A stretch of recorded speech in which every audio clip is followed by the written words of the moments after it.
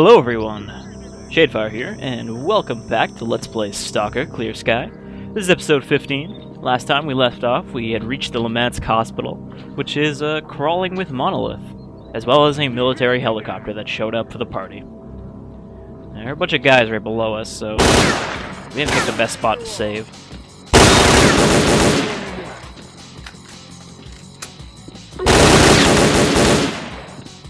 We're running pretty low on ammo for this uh, FN2000. Since these guys only seem to have ammo for Russian guns. So, since they're right below us, we're going to switch to our shotgun, which hasn't seen a lot of use lately.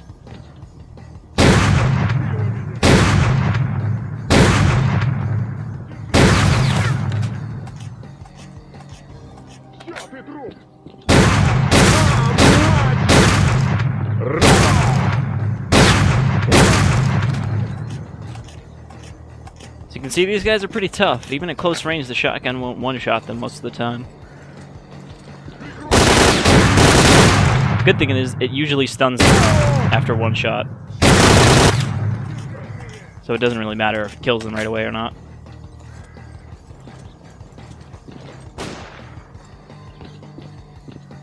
There should be about three more. Somewhere. Where the hell did they go? They must have gone around the other way.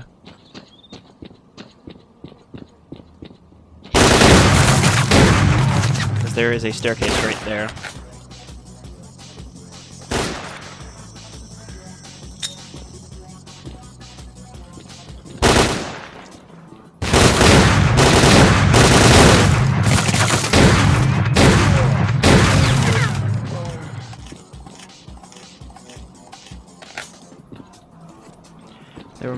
might be one more up there. Oh, we found a stash off one of these guys.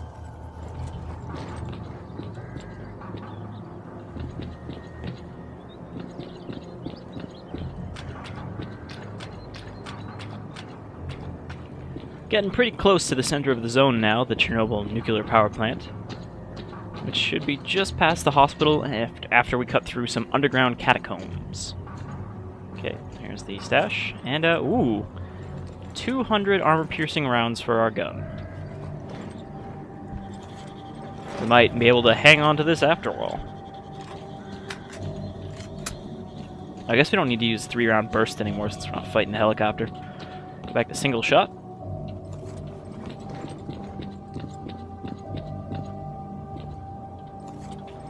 Now this place can be a little confusing to get out of. Basically, can see that our objective is in this direction, and you'd think you have to go over there. However, there's no way to actually get over there. Instead, we have to cross over to the other side. We have to cross over to the other side. And then if you look to your right here, there's a hole. I'm not sure if this hole is here before the helicopter crashes, or if that sort of like knocks out the floor. But this is where we need to go. What is it with uh, video game creepy hospitals and wheelchairs on stairs? Why would you leave a wheelchair on stairs? It's not what they're designed for.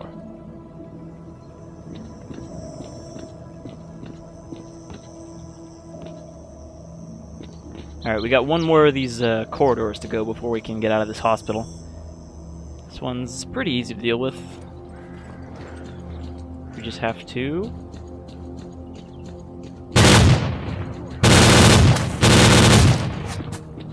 Have to hold out for a minute, though. That'll pop up.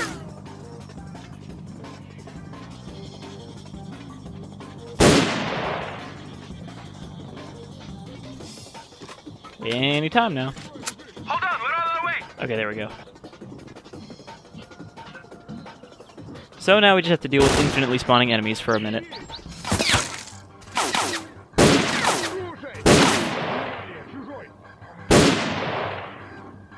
Not too difficult. The armor-piercing rounds on this gun are a headshot monster. Look at that, just in the face. Gas mask won't save you.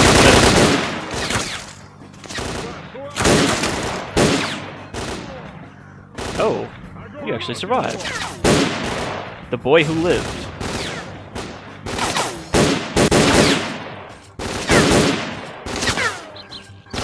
You doing up there, silly? You fall and hurt yourself.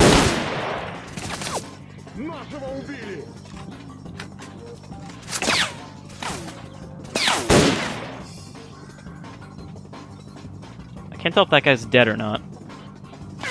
The guy up here. Well done, man. You did Nope, he's not dead. Now they're going down.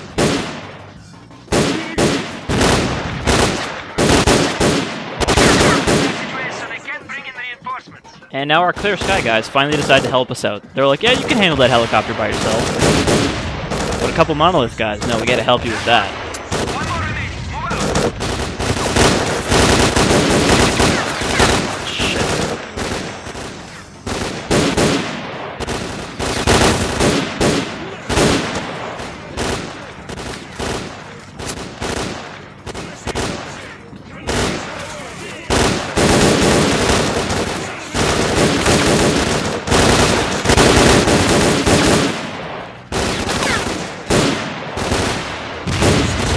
There goes the second one.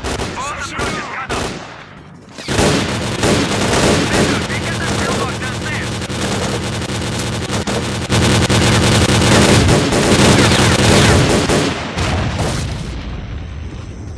Of that mounted gun. Apparently our Clear Sky squad is just carrying a whole bunch of RPGs or something, because they're just blowing this whole area up. Base, we're at the entrance to the catacombs. What now? Great. Get in position and hold the entrance to the catacombs. The main squad is on its way. Roger that. Wait a minute. We're on it. Dennis' favorite. Merc, we'll hold the Monolithians while you go down into the catacombs.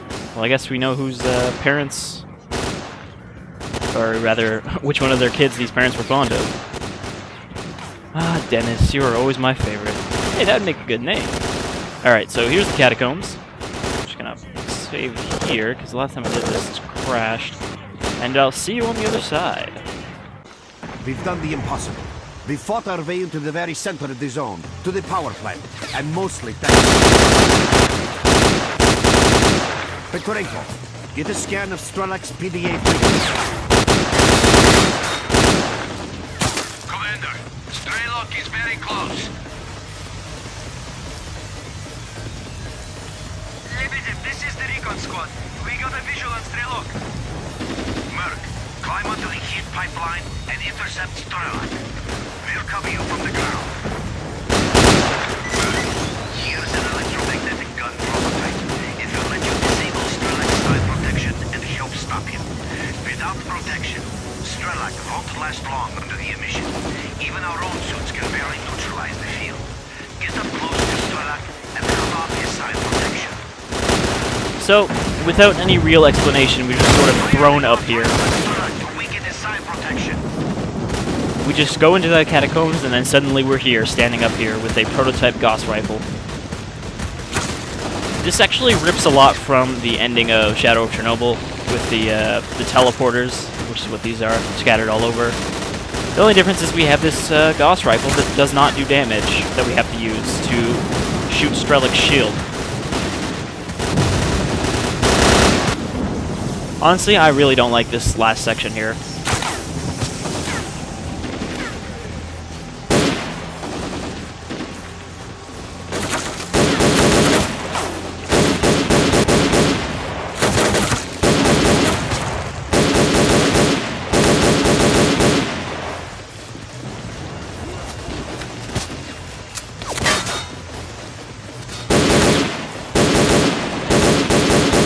Because we're basically doing exactly what you do at the end of the first game, except you also have to do a stupid side objective of weakening Strelok's shield.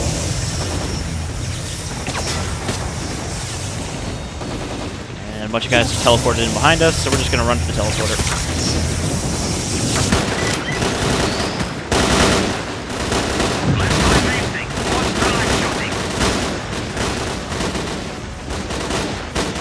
They don't actually know where Strelok is, so I don't know.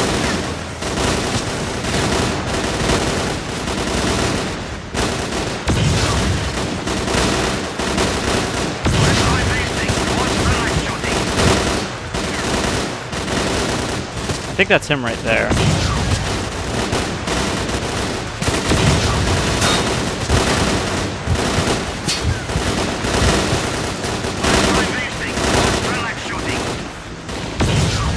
I actually can't tell which one's him.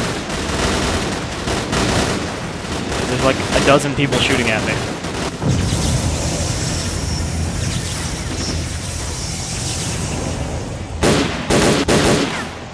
It's really disappointing that there's like no mutants at the end of the game. It's just a shit ton of monolith guys.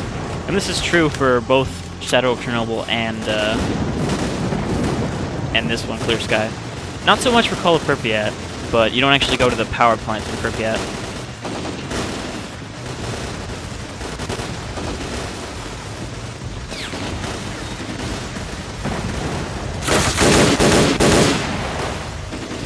I actually really like the ending segment from Call of Pripyat, but uh, we'll get to that someday.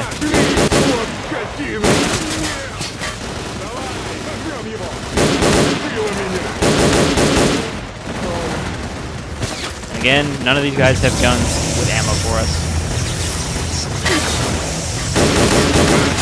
Your goal is Strelok. Move up and unload and clear.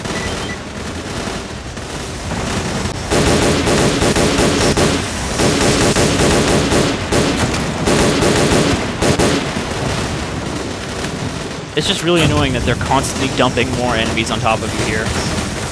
And you're getting shot from every goddamn direction.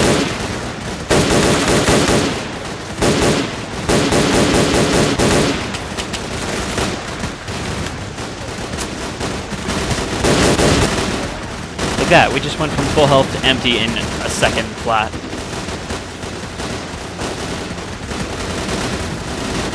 Okay, I uh, may have died 20 or 30 times getting back here, but I did. And I decided we're just going to use the friggin' Val because it does ridiculous damage and it keeps murdering the shit out of us. Also, every single one of these guys seems to win except this guy. So, the ammo is pretty plentiful. If only they'd stop teleporting in behind us. Or, how did that guy throw three grenades with one throw?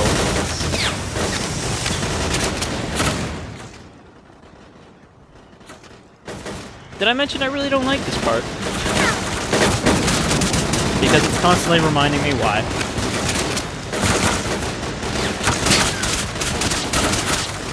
Also, this box we're standing behind is not actually bulletproof. It's just slightly more bullet resistant than we are.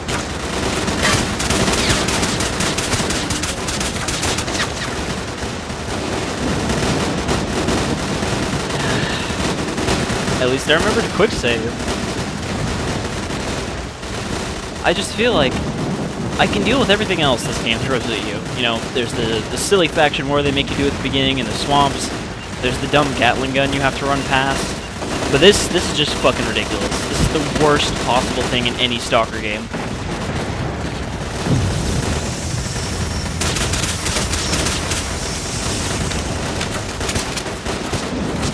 Like, look, I'm still getting hit despite being completely behind cover.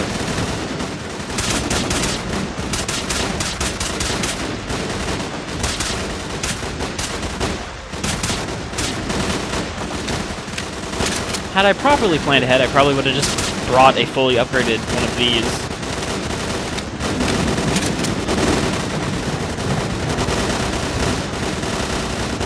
If we go too far forward, the guy's to spawn up there and start shooting me in the back.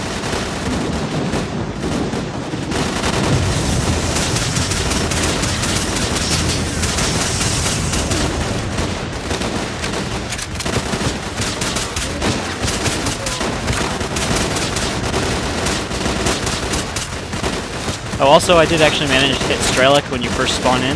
As you can see, he's only got half of his shield left at the top right there. And again, died in three seconds.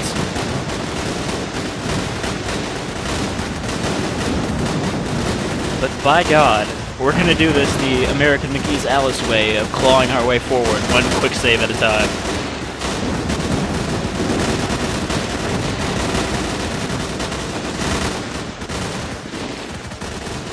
Okay, there's Strelok right there. You can tell he's got that stupid static effect around him.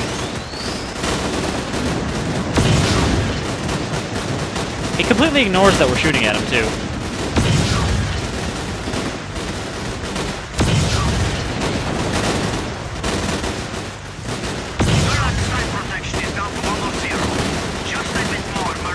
I don't know why the Gauss rifle has such a long downtime between shots either.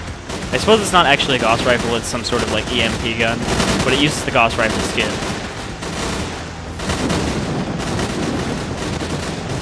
Ineffective against live targets.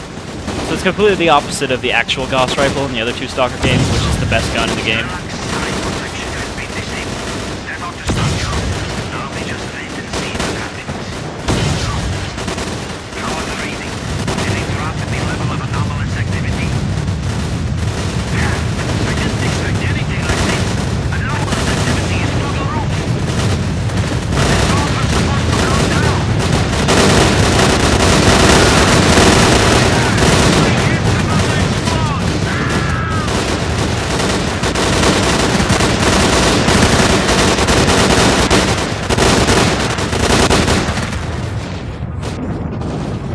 And it turns out that disabling Strelok psy protection did not save us at all, and actually made it worse.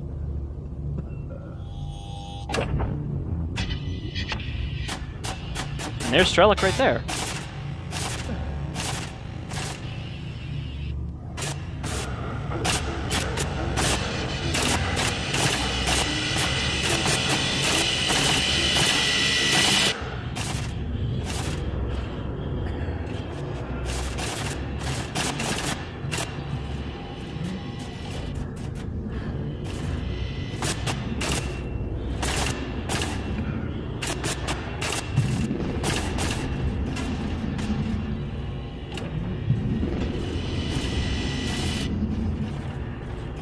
And that leads straight into the starting of Stalker Shadow of Chernobyl, where, spoilers, you play as Strelok.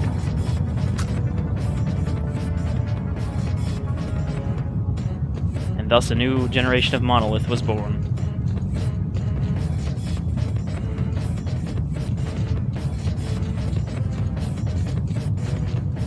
I'm not sure why it just spit us back into the game. Pretty sure this is not supposed to happen.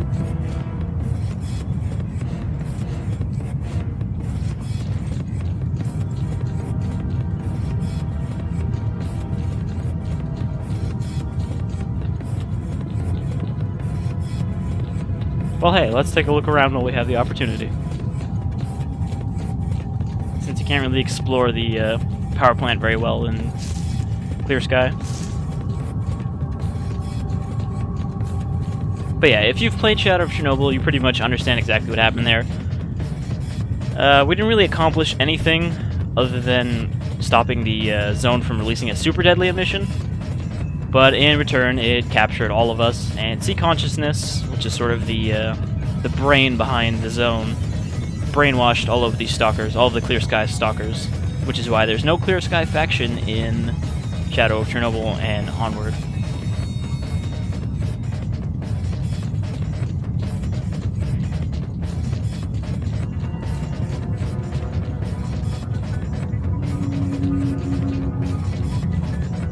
How much of this we can actually explore. Can we get right up on the roof here?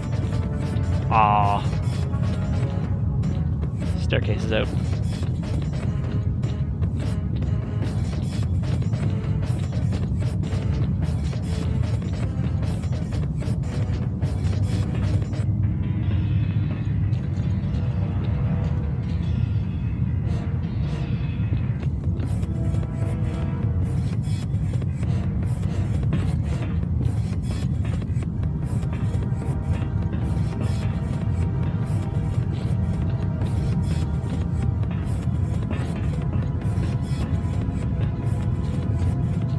I don't think we can get anywhere interesting from here.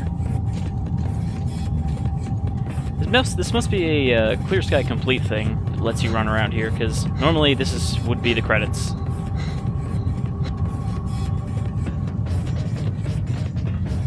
And as for the fate of Scar, our uh, protagonist here, there's sort of a fan theory, I guess, that he became Char. No, what is it? Charon? Charon?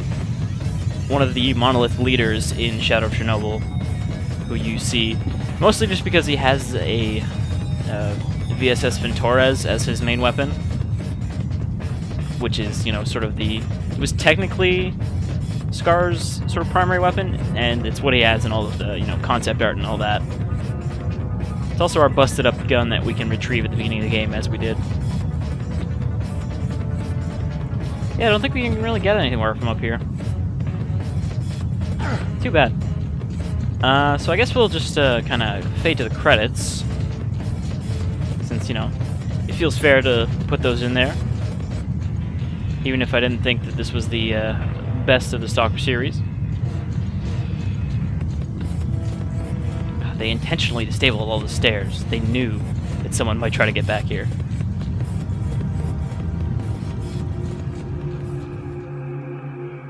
And that was Stalker Clear Sky. As I've mentioned kind of multiple times throughout this LP, uh, I kind of consider it the worst of the three games, which most people agree with.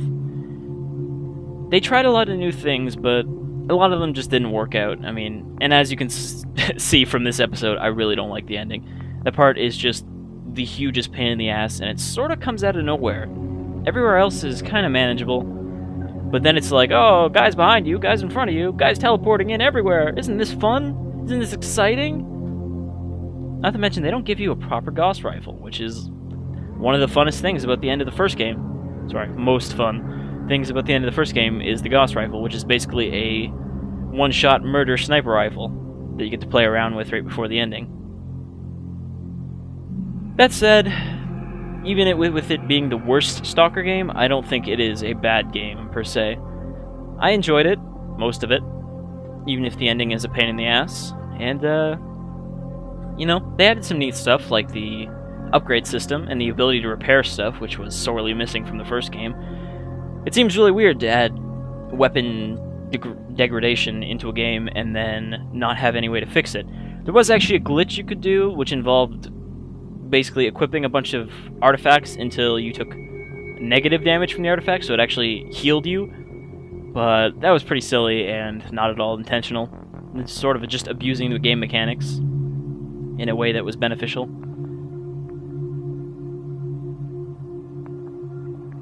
I think maybe story-wise as well, Clear Sky is kind of pretty weak because it's basically the same thing as Shadow of Chernobyl it's like, oh, you gotta you gotta track Strelok to the center of the zone. The only difference being in Shadow of Chernobyl, you actually are Strelok with amnesia.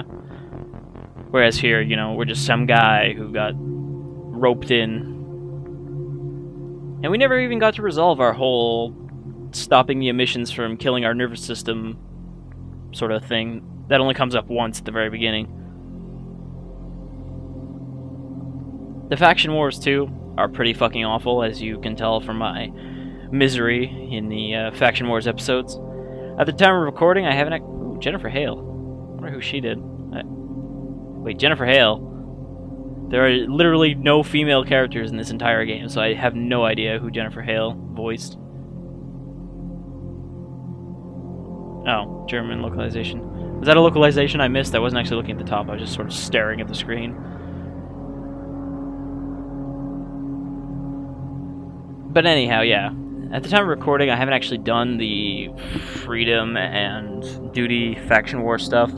I'll probably put one of those up before this goes up, though, so, you know, look behind the curtain. All in all, though, I'm glad I did this game because a lot of people played the beginning and didn't like it and didn't experience any of the uh, enjoyable stuff. But I'm always of the opinion that you gotta you gotta take some of the bad